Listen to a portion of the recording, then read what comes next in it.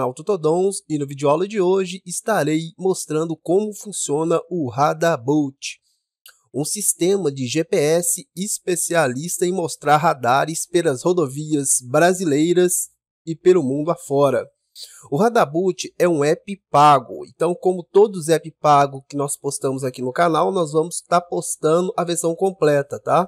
Mas tem a versão trial aí, que você pode estar tá baixando no Google Play Store. Essa versão não tem propaganda e não tem limites. Eu vou estar disponibilizando 150 unidades, obviamente para 150 pessoas iniciais a baixarem ele aí. É, ele tem essa interface bacana demais. Ele tem também essa opção aqui em você colocar os mapas em, 3, em 2D. O padrão ele vem em 3D. Sistema noturno você pode deixar automático ou desabilitar o sistema noturno, tá ok? Eu gosto de deixar sempre no automático. Essa opção aqui, o GPS sempre ativo, ela é importantíssima, porque mesmo se você deixar o GPS desligado, o, app desligado, ele vai te informar. Então deixe sempre isso aqui ativo, porque às vezes você desativa o app e vai rodar aí confiando que ele está ativado. Você desativa sem querer. Por isso é importante você deixar isso aqui marcado. Veja que está desmarcado agora. Eu vou marcar ele vai te dar a sua localização sempre que você pressionar aqui, ó. Deixe isso aqui ativado, que senão o mapa só me mostra só vocês, não é interessante. Mostrar o tráfego, tá? Essa opção vem desmarcada por padrão. Aqui você pode estar acompanhando como está o tráfego. Deixa eu dar um zoom aqui na tela do meu aparelho. Como está o tráfego na sua região nesse exato momento, ou na região que você se encontra pelo GPS.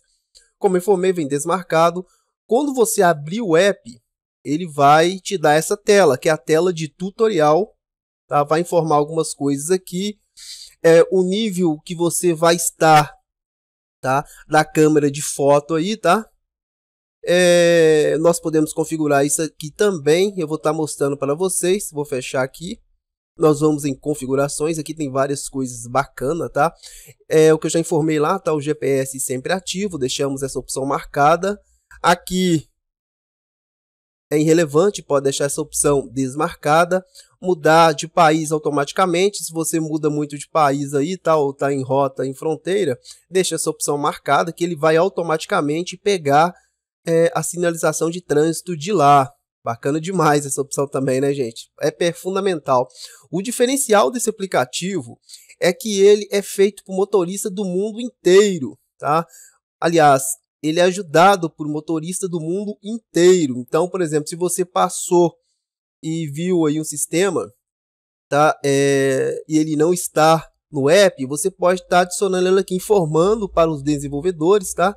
Que tem um sistema lá e que você, um sistema de radar lá e que você não, que não está no app. Você informa da localização que eles vão investigar e depois vão atualizar a base de dados é sempre atualizada. Esse é o diferencial, tá vendo aqui, ó?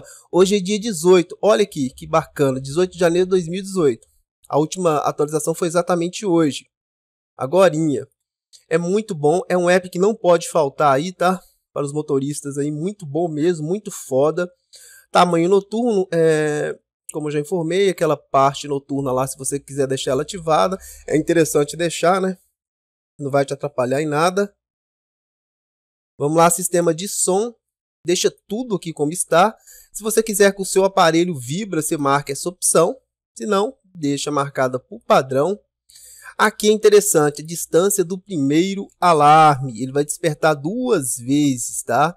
A primeira, um sinal comum. Se você chegar mais perto, ele vai mais forte, ele vai despertar mais forte, muito foda. O sistema de alarme vai ser mais forte no segundo.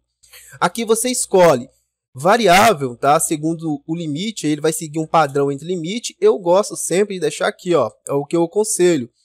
Inclusive até meu amigo aqui que nós fizemos o teste em algumas rodovias aqui próximo, nós deixamos nessa opção marcada e foi muito bom, um quilômetro. Então um quilômetro ele vai dar o primeiro aviso. Agora é o segundo aviso de limite, tá? Quando ele se aproximar mais, você pode deixar aqui em 200 metros, tá? Então, ou seja, ele vai Exemplo, você vai colocar do jeito que você quiser, só estou dando um exemplo, tá? Então, o primeiro alarme nosso lá foi 1 km de distância, ou seja, 1.000 metros. Então, aqui nós podemos colocar 200 metros. Interessante também. Silenciar ligação durante o alarme.